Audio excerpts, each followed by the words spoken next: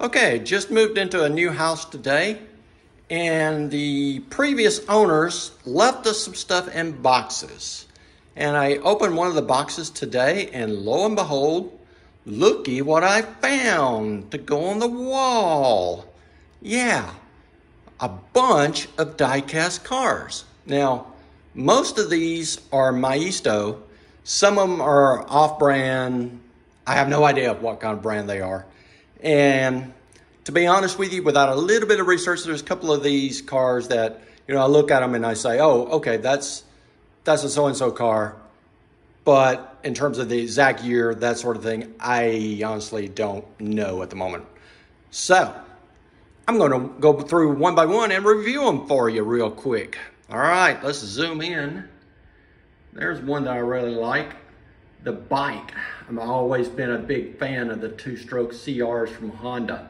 So I've ordered these somewhat in order of the year they were sold. And let's go to the first one. I think this is a 48 Ford pickup truck. Pretty nice. I think that was a Maisto. Next, we've got a 53 Chevy Corvette. Very nice think that's a Maisto as well. I'm not certain. Once again, there's a lot of different brands here. Most of them are Maisto. Got the exact same car, looks like. Again, why she had two of them, I don't know. Then, we got the one I really like, the Porsche 550 Spider, AKA James Dean machine. Then we've got a, what does that would be? Like a 60, does that say Hot 57? Okay, hot 57, so I guess that would be a 57 Chevy Corvette. Very nice with the red interior. All right, coming on down, we've got a split window. I think the split window on the Vette was, what was that, 63? It is a split window. You can see it is a split window there. And then coming on over, we got a Camaro SS. No idea what, what year that car is, but nice convertible. Then we've got an El Camino. I think that's a 69 El Camino. And I'm, uh, I'm not enamored with wheels on that. So, excuse me, that's a 1970. Why it has 1970 on the door, I don't know, but it does. The doors do open.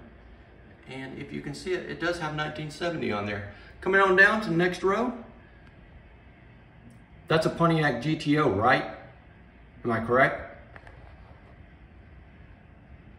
Okay, got the bike again. Coming on over. Ford Torino. I like this Ford Torino. That's a nice looking car. Coming on down to the fourth row. And we've got, is that a Testarossa? Then we got a racing Testarossa from approximately the same year. Now, could that be like a a 358. Is there a 358 in a Ferrari? Hmm. Feel free to correct me. Then we got the racing Ferrari. We've got a pickup truck. That's a Maisto. Pretty sure that's a Maisto. Got a Corvette. Is that a C5 or a C6? I'm thinking C6 okay? I'm just not a Corvette fan, so hard for me to tell. Zoom in a little bit for you so you can look at it there. Pretty beat up, looks like some kids have been playing with it. It's got dust all over it. It's a lot more red than the camera is making it right now. Coming on down, one of my absolute favorites, 993 Porsche from the mid 90s to about 97, 98 that made that car. We got a Mercedes sedan. No idea what year that was, what model it is, none of that. PT Cruiser, I don't see the point in having a model of that, but okay. No idea what year that is. No idea if it's a Maisto, no idea. And then we got a BMW Z8. And then we've got a Dale Earnhardt Jr. Jr. Excuse me, Dale Earnhardt Jr. Monte Carlo, I believe that is. Pretty cool.